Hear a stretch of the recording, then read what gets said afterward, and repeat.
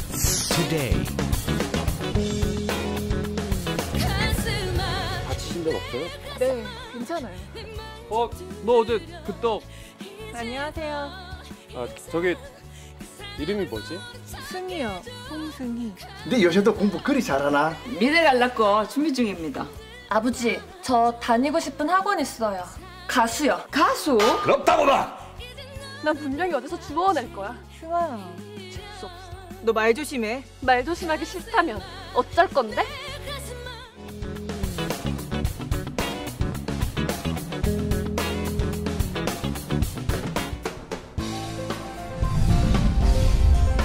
KBS